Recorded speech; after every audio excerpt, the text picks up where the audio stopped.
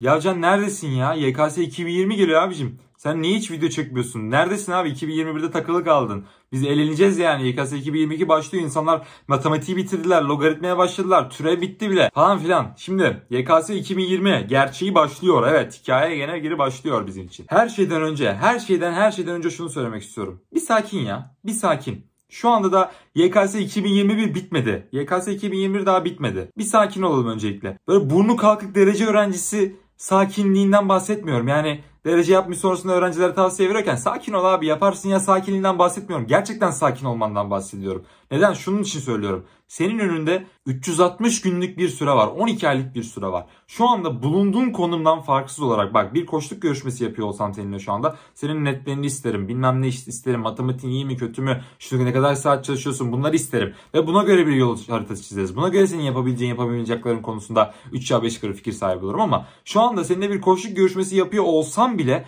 seninle seninle alakalı istediğin net dışında herhangi bir şeyi bekliyor olmama gerek yok. Neden? Çünkü önümüzde yeterli süre var. Onu demeye çalışıyorum. 360 gün iyi bir planlama yapıldığı sürece, iyi bir planlama kapsamında iyi bir çalışma sistemi oturtulup düzenli çalışıldığı sürece her şeye müsait olan bir şey. Tabii ki 120-80 değil. Yani sen, sen şimdi toplama çıkarma öğreniyorsan 120-80 yapamazsın tabii ki atıyorum ama ya örnek verelim 50'ye 20 yapıyorum. AYT'ye hiç girmedim ya da 50 TYT. Hatta hiç AYT'ye de TYT'ye de girmedim. 9 10 11'im 3 aşağı 5 yukarı öyle böyle şöyle geçti. 80 tane OBP'm var mesela. Kaç istiyorsun? İlk 10 bin mi istiyorsun? İlk 5 bin mi istiyorsun? Düzenli bir çalışmayla yapılır. Sistematik bir şekilde ilerlenir. İlk bin de zorlanır. Öncelikle bu tabuyu aklımızdan kaldırmamız lazım. Yani yok işte geride mi kalıyoruz bir şey mi yapıyoruz? Öncelikle sakin dediğim gibi. Ama şimdi daha önemli bir kısımdan bahsediyorum. Sakin olmamız bizim bir şeyler yapmaya başlamayacağımız anlamına gelmiyor. Senin bir şeyleri 12 ayda yapabiliyor olman bir ay boyunca yatıp sonrasında 11 ayda yapabilir miyim ben diyeceğin anlamına gelmiyor.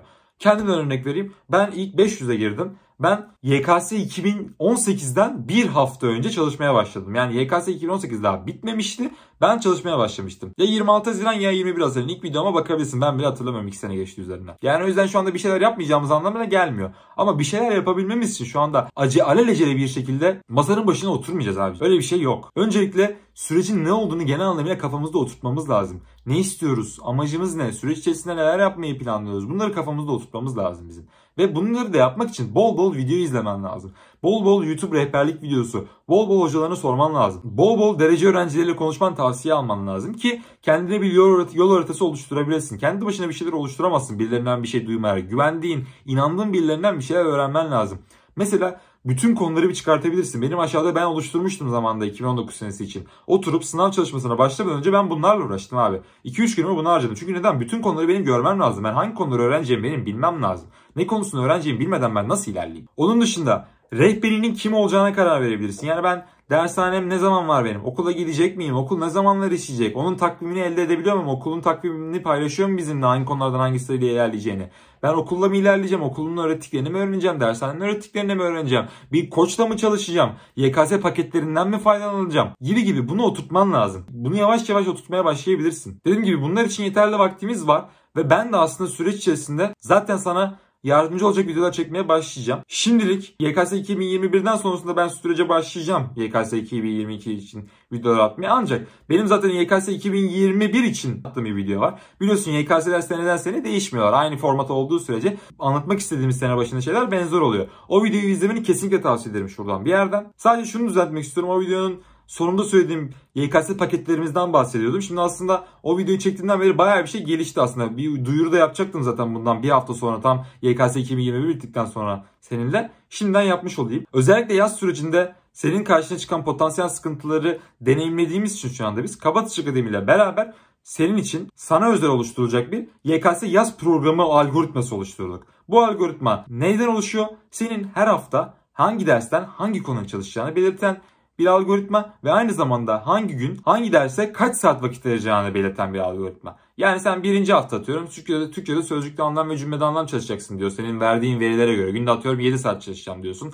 Haftanın 6 gün çalışacağım diyorsun. Türkçenin ağırlığı fazla olsun diyorsun mesela atıyorum. Bu verilere oranla sana hazırlanacak. Bu hafta işte Türk, sözcükte anlam ve cümlede anlam. Ve aynı zamanda birinci günde de Türkçeden 1 saat. ikinci gün Türkçeden 2 saat. Üçüncü gün Türkçeden 1 saat. Bu şekilde sana özel, senin verilerini oluşturmuş bir program algoritması üzerine çalışıyoruz ve bitmek üzere. Dediğim gibi lansmanını haftaya yapacağız. Ön duyurusunu haftaya yapacağız.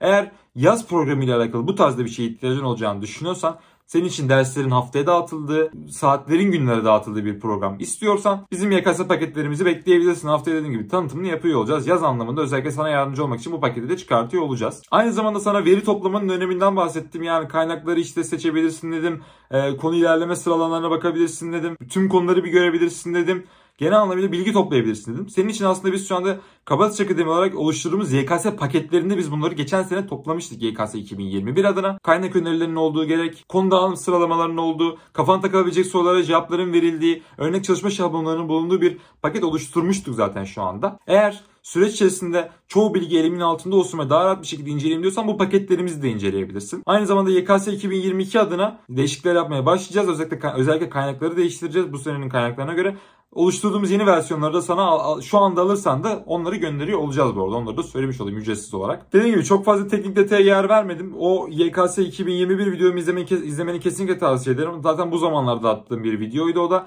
Ondan sonraki YKS 2021'den sonraki süreçte sana YKS 2022 adına videolar atmaya başlıyor olacağım. Son olarak da şeyi söyleyeyim. Çok fazla reklam mı yapıyorsun ama biz üretiyoruz, biz yapıyoruz, biz arkasından koşuyoruz, biz sistemini oluşturuyoruz. Tabii ki bunun reklamını yapacağım. Yapmayacağım da neyin reklamını yapacağım? Kapatıcı Akademi koşluk sistemleri. Eğer bir koşla ilerlemek istiyorum ben ve güvendiğim bir sistemle ilerlemek istiyorum, güvenebileceğim bir sistemle, kayıt altına alınabilecek bir sistemle ilerlemek istiyorum diyorsan bizzat benim oluşturduğum koşuk sisteminden de faydalanabilirsin. Kapalı Akademi deneyimli koçlarımızdan faydalanmaya başlayabilirsin. Oradaki aşağıdaki linklerden de ulaşabilirsin. Dediğim gibi teknik anlamda videolar ilerleyen süreçte gelmeye başlayacak kanalda. Önce bir sakin, bilgimizi toplayalım, tecrübelenelim, yapacağımız şeyleri birazcık belirleyelim, hedefimizi belirleyelim 3 aşağı 5 yukarı. Ne yapmak istiyoruz, nasıl bir yerde olmak istiyorum ben, bunun için hazır mıyım bu soruların cevabını vermeye başlayalım. Ve en sonunda teknik detayları da belirledikten sonra yani işte TYT mi gitmek istiyorum, TYT artı 11 mi tekrar etmek istiyorum. Bunları konuşacağız zaten ileride. Ben videoda da konuşuyorum bu arada ama bunları da belirledikten sonra başlayabiliriz artık. Önümüzde uzun bir süreç var. Seninle beraber olmaya çalışacağım bu süreçte. Süreçten alakalı kafan takılan bir soru varsa aşağıya bırakabilirsin. Şimdilik benden bu kadar. Kendine iyi bak. Selamlar.